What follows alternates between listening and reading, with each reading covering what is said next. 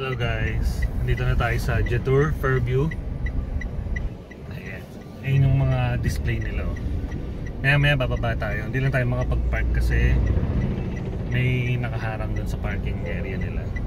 So magte-test drive magte-test drive tayo ngayon guys. Ayun yung testingin natin, yung ice cream na yun. Tingnan natin kung komportable ba ang isang 6-footer sa loob ng ganyang ka-cute na sasakyan. so tingnan lang natin yung kausap natin guys, yung ano nila, yung staff nila no. So para ma-testing natin. So ayun, baka yun na si ma'am. Ayun. So sige, post na natin to guys.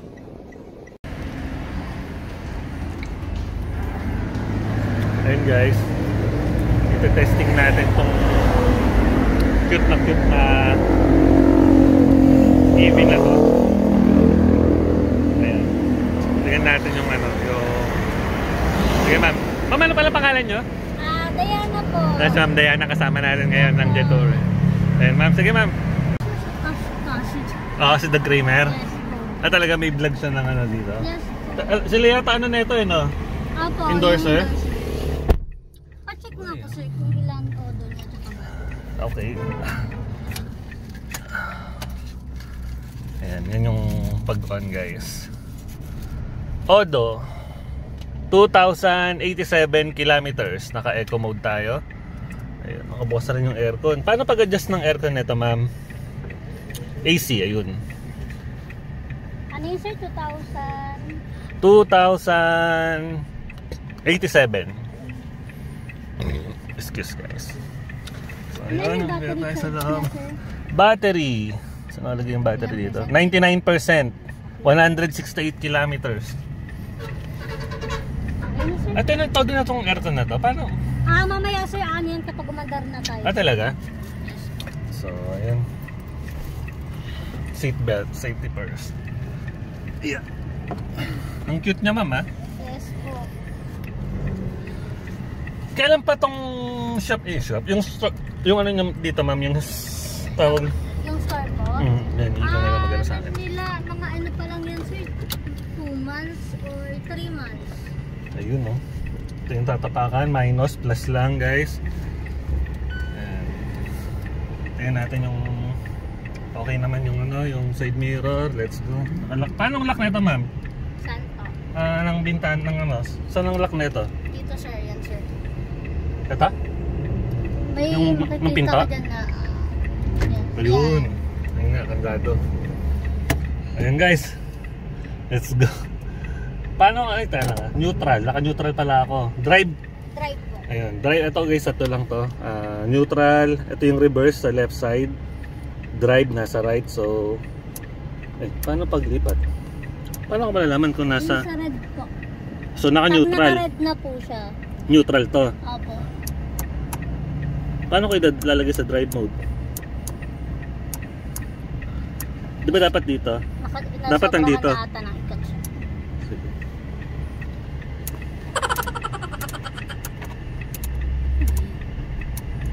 Siguro natin. Ayan guys. Merong ano, merong safety feature pala to. Kagandahan dito, no. Ah, pagka naka handbrake ka, pag nakaangat yung handbrake mo, kahit anong rotate mo dito, hindi siya mababago, hindi siya aalis. So kailangan mong ah, ibaba yung handbrake mo, tapos tingnan nyo ah, tsaka natin ililipat.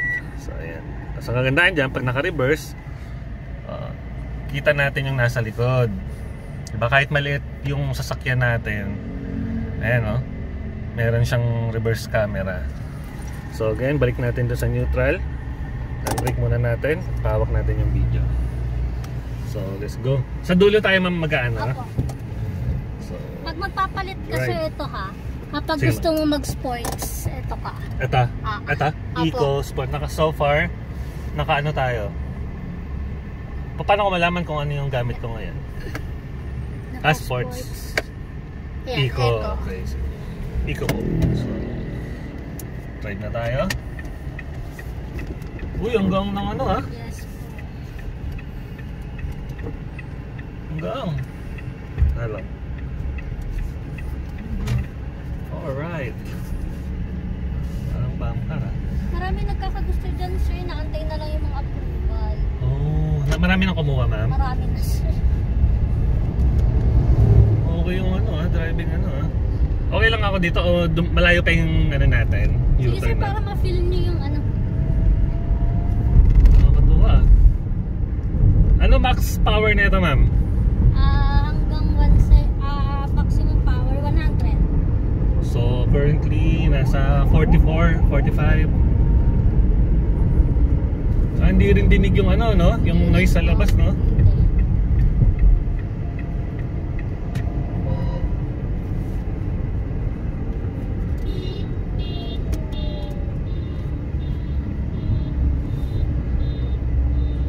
Ang laki nung ano niya, ma'am, nung, nung tawag dito, no? Yung Alin? windshield niya. Yes No? po. Ganda. So, and guys, sa ngayon, yung experience natin, okay. Nakakatuwa i-drive.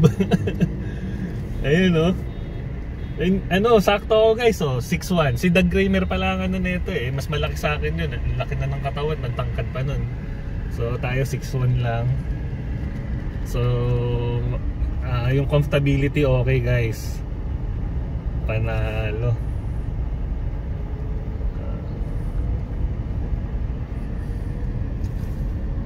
Okay. Nakakatuwa oh. Ano safe, may safety feature ba ito ma'am? Like kunyari may airbag. Meron din. Ah, meron. Yes. Ano yung airbag nito? Louis Vuitton? Mm, yun lang. Hindi niya sure. Sige po. So yun, ang sarap, ng, ang sarap i-drive. Okay. Yun nga lang, syempre, consistent yung ano niya guys. Hindi siya yung ano, hindi siya yung kagaya siyempre sa mga gas kagaya nung sa Wigo. Although mahina naman yung makina ng Wigo, di ba? 1000cc lang. Pero, ah, kahit pa paano pag tumapak ka, ramdam mo yung yung ano, ito parang consistent siya na nagdadag gradual yung pagdagdag niya. Saan tayo ma'am? Diretso pa? Sige po, diretso. Ayun, sige. Type So, okay. Naka-eco ka sir. Oh, ma'am. Ah, pwede kong ano, ano? Sports. Subukan naman natin yung sports. Uy! Uy, grabe ah! Yung pala, kaya pala kanina sabi ko, yung hatak, hindi ganun kaano. Yes. Naka-eco pala siya. Itong sports mode, malupit. Yan sa ikot ka. Saan? Ito ma'am?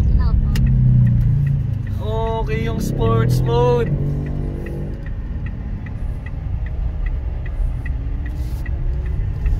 Grabe yung... Ito pala, ito pala guys yung masarap gamitin. Kaya lang malamang mas mataas ang consumption ng battery nito. Pero ang bilis oh. Oo, 60 na tayo nun guys. Panalo ah. Yun nga lang yung aircon. Hindi po ba naka... Hindi ko alam baka baka may mali lang baka tingin ko hindi lang ako may mali siguro ako napindot or ano. Tama ba 'yan?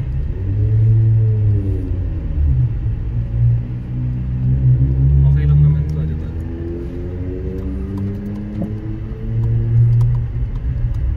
Yung blue po. Ah. Sa blue.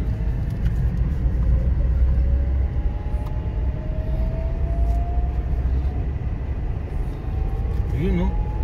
Ramdam, iba yung ano pala, mabilis pala. Ano, sa sa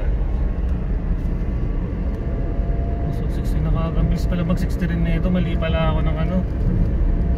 Ah, palitan natin.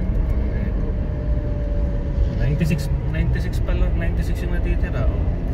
Naka, ano, nakabawas ka na ng 3% pa lang. Mm, 3%, 3% pa lang. Pero oo oo nga, okay naman yung aircon. Yun, kung dalawa lang naman kayo, di ba? Ang lumakas na nga siya. Balik natin doon sa eco mode. Pero guys, kung ako tatanungin, eco mode, ah, doon ako sa ano, sa sports mode, panalo. Tsaka ano, parang ang napansin ko dito, mas ano elevated yung forma compared dun sa Wigo na parang um, mababa yung upo mo. Dito mataas. No, ma'am? Yes po. Oh, yung aircon na.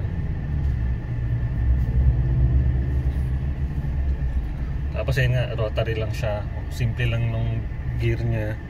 Tapos may isa lang siyang ano, isa lang yung battle ano niya, no? Yes po, isa lang. sa gitna. Kaya meron din dito. Meron din sa gilid. Okay. Saan ang ano na ito, ma'am? Sige po, diretso po. Uy, ito man tumawid yung sila ate sa ano. Panalo to ah. Okay ah.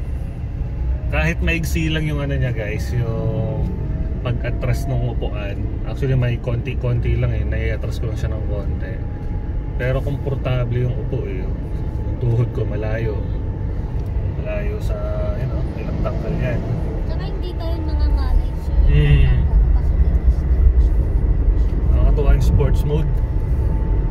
Ooh. Malayo pa yung U-turn na ma'am na. Malayo pa. Sige. Sa may Ito pa natin ang stoplight. kayo. Sarap oh.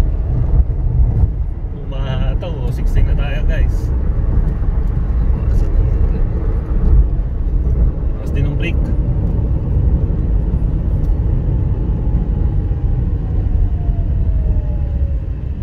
Tabi tayo ng konti. May basurahan. Okay ah. Oh.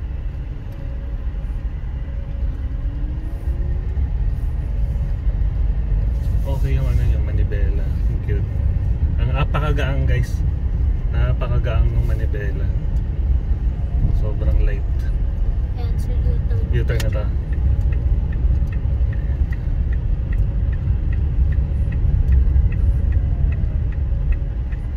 Pwedeng laruan to ma'am no? okay eh. Oh, napakaigsi nung napakaano nung ano. Manalo. Saan ba yung dito?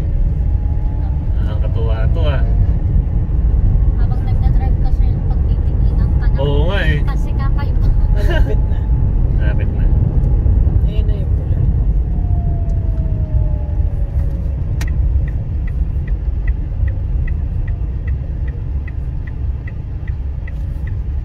Grabe, ang ganda naman na ito ma'am. Nakakatuwa. Jetour, jetour. Gilid ko lang ma'am ah. To dito na? Ah, sarap ikot. Kung pwede lang ikot-ikot pa ah. Kaya lang, okay na to. Na-feel nyo naman, Sobra ma'am. Nakakatuwa. Ayan guys. Yan experience natin dito sa Detour. Ice cream sandwich. Ice cream sandwich ba to? Sunday. As sandwich. Paano ang unlock na itong dito na? Yes. So tapos, ang bukas ay yun. Ano holder na? Ayun, ang laki pala nung ano. Sana video ka lang mama. Ayan, ang laki pala nung lagay pa rito. May cup holder pa rito sa kabila. Ito yung side pocket. Ayan ah. So, sige, tara. Pasok tayo. Okay guys. Try tayong umupo ngayon dito sa loob nito. Tingnan natin yung experience natin.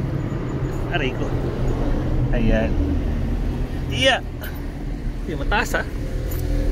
Ayan. So lilipat tayo ngayon dito. Tingnan natin kung gaano kasigip. So hindi ko na tatangkain guys. Ayan, hindi ko na itutuloy ha. Alam nyo na. Pag pinilit natin, ayan, sige, tinuloy na natin. Ayan, so, sige. Basta masasabi ko, komportable mag-drive. Ayan. Hindi tayo pwede sa likod. So, ayan guys. Ah, maraming maraming salamat sa ah, experience. Salamat Jetour Fairview for allowing us to test your unit.